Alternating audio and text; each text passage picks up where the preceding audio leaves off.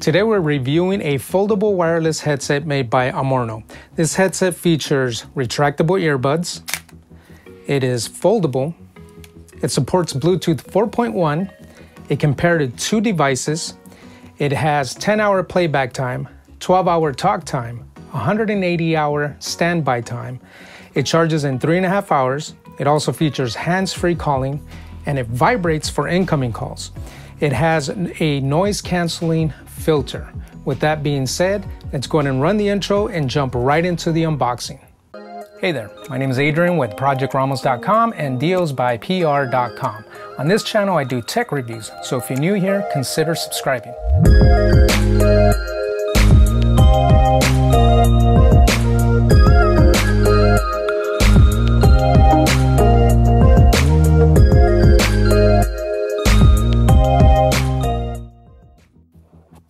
Okay, first thing we get in the box is a one year warranty card. We get a quick guide, quick start guide. Looks like we get a USB, it's a micro USB charging cable. We also get two sets of earbud pieces. And here's the earphones. So they feature this foldable design. So on the side of the neckband, we've got the on and off button here. We've got a volume slider here. So you slide it down for volume down, slide it up for volume up. And then this is, uh, I'm not sure if you can catch it on the camera here, but there's a little hole here and that's the uh, microphone. And then this button here is the multi-function button. And then on the inside of the neck brace, we also have the charging port down here. Let's see if I can get that in focus right here. So you can see there's a little cover right inside of the neckband. And also on the inside of the neckband is this button here. And then on the flip side is a similar button. And what this button is used for is to retract the earbuds. So when you pull these out, there you go there. And then you use these buttons to retract them back into the neckband, just like that. Next thing we're gonna do is we're gonna use my iPhone 10 to pair this headset to my phone. I've got my iPhone 10 here and now we're gonna turn the headset on and it should jump right into uh, Bluetooth pairing mode. So I'm just gonna switch to the on position and the neckband vibrated and you can tell here this LED is now flashing red and blue which means that it's in Bluetooth pairing mode. So I'm just gonna take a quick look over here on my phone and there's the headset right there. Amorno SX888. So I'm just gonna choose that. And now we are paired. As soon as it paired, it did make a prompt in the earbuds. Um, although I didn't have the earbuds on, so I'm not really sure what it said, but I imagine it's something along the lines that the headset is now paired. Next thing I'm gonna do is I'm gonna take some time and listen to some different genres of music, and I'll be back with my final thoughts of the Amorno foldable wireless headset. Now that I had a chance to test all the features of this headset and also tested out the uh, sound quality, uh, let's go over my final thoughts of this headset. Uh, first, let's talk about the design. It is made out of plastic and the band here is very flexible. So my first thought when I seen the uh, picture of the headset was if the plastic here was very rigid, then that's gonna be a breaking point. But in fact, it's not rigid. It's very flexible, so it doesn't feel like it's gonna break. Um, you can actually twist it this way, do it this, you know, bend it this way, and it doesn't feel like it's gonna snap at all. It's very bendable. Now, this section of the headphone here, these pieces here, this piece is rigid. This will not bend.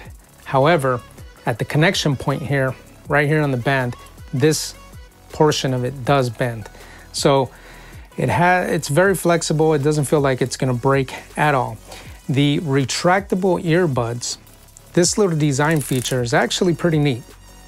And it does give you a little bit of feedback uh, as you're pulling out the earbuds to let, let you know when you're when you pull them out completely. So um, I don't think you're going to run into any issues of you know pulling this too far because it does start giving you, you know, it, it, it starts to give you a little bit of, um, of pull when you get into the end of the, uh, the wire there.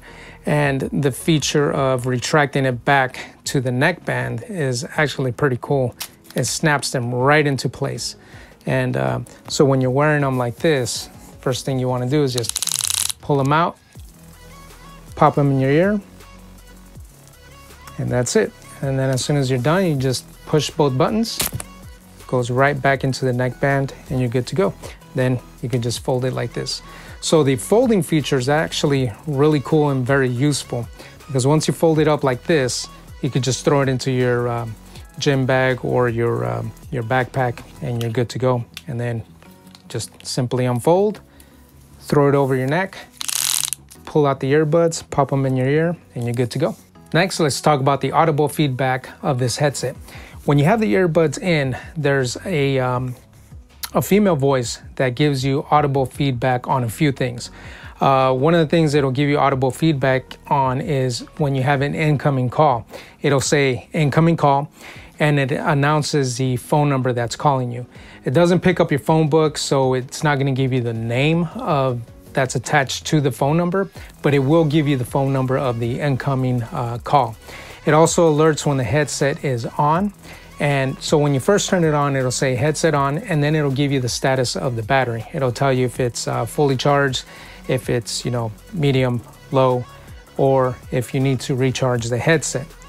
It also alerts when the headset is off. So once you switch it to the opposite position, it'll it'll alert you and say headset off. Um, it'll also alert you when the headset is out of Bluetooth range.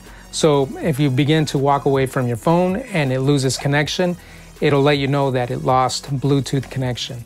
And the same is true um, if you come back into Bluetooth range and it reconnects, it'll let you know that it is now in Bluetooth range and it's now reconnected. Next, let's talk about the vibration feature of this headset. When we first uh, paired this headset uh, via Bluetooth, it vibrated to let us know that um, the headset is now paired. And also tested with an incoming call, and it also vibrated to let you know that there's an incoming call. As a matter of fact, let me see if I can demonstrate that here real quick. I'm just going to initiate an incoming call using Google Voice. I just initiated the call.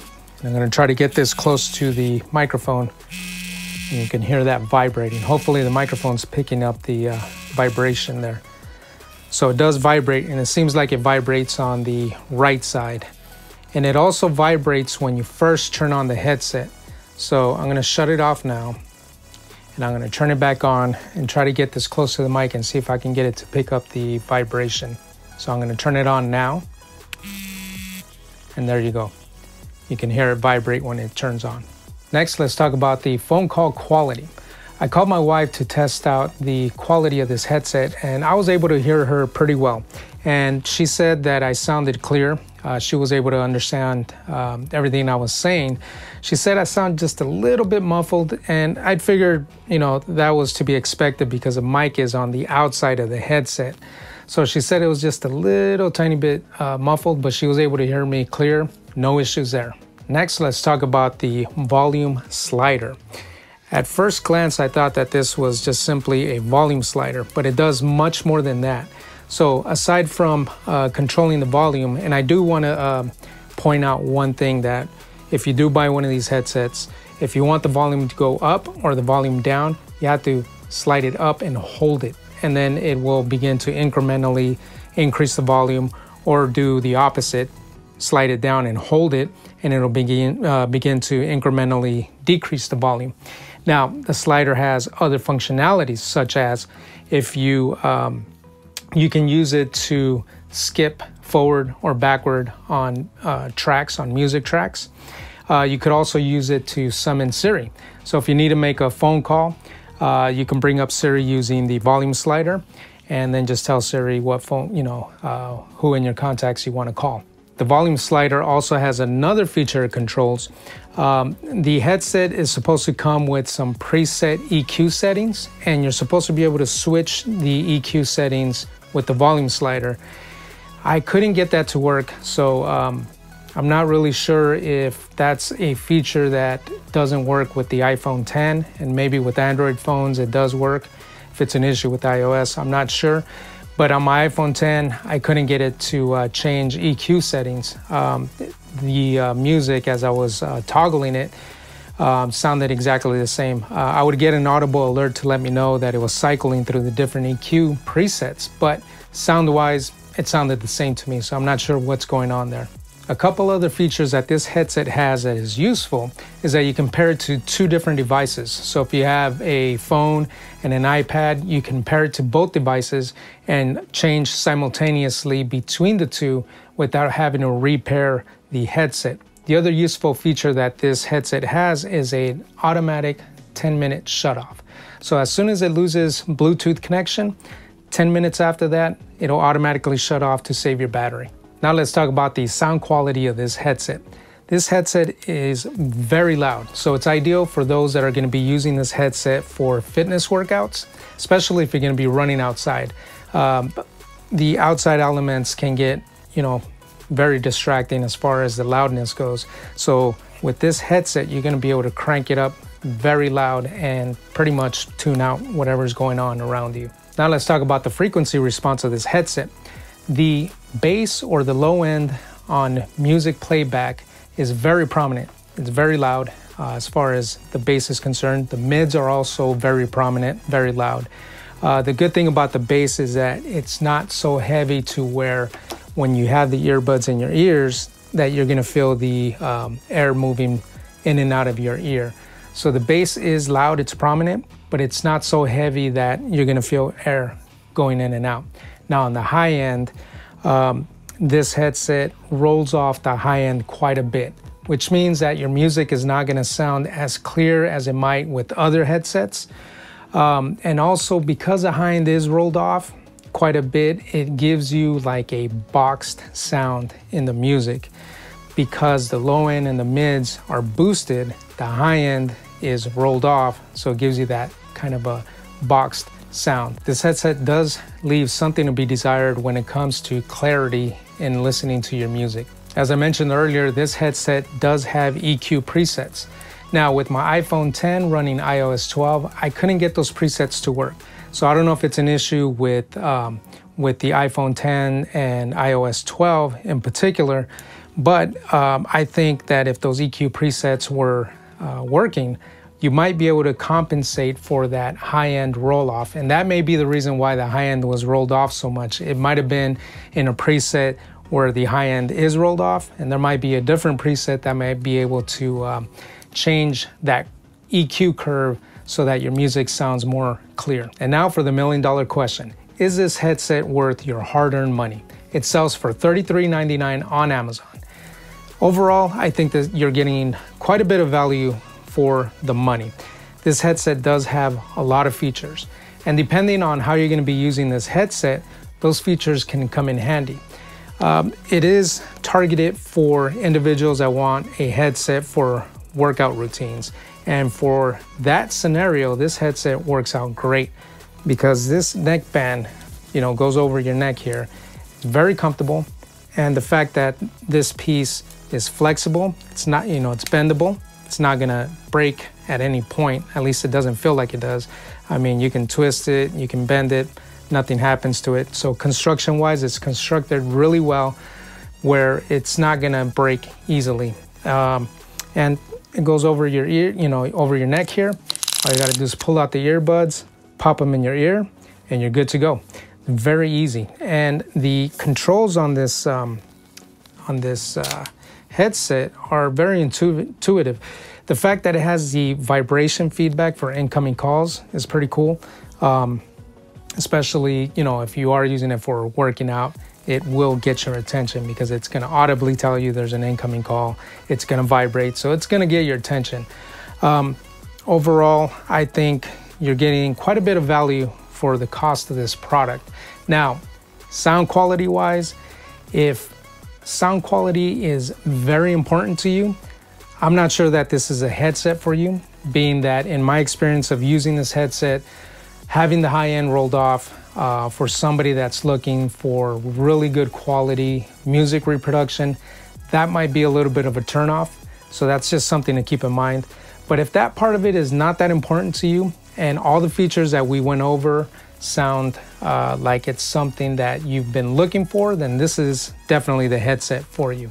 And if we were able to get those EQ presets to work, that might be able to fix the issue of the high end being rolled off uh, too much, in my opinion. But overall, I do think you're getting quite a bit of value in this headset for the cost of the product. This is going to complete my review of the Amorno wireless foldable headset. If you found some value in this video, please hit that thumbs up button. And if you are not subscribed to my channel, I would appreciate it if you were to subscribe. That way you get notified the next time we upload a new video. And on that note, I will see you on the next review.